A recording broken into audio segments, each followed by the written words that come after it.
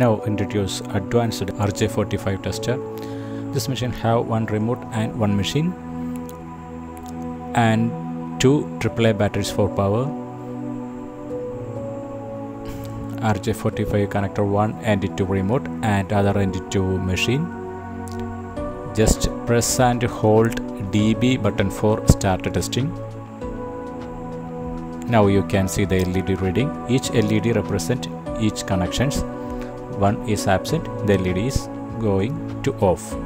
Then just click to DB button to off. And machine have two options already visual fault locator and optical power meter. This tool can be very useful for optical network engineers. This plastic shutter is used to protect from dust and liquid spillage damage. Thank you for watching. Have a nice day.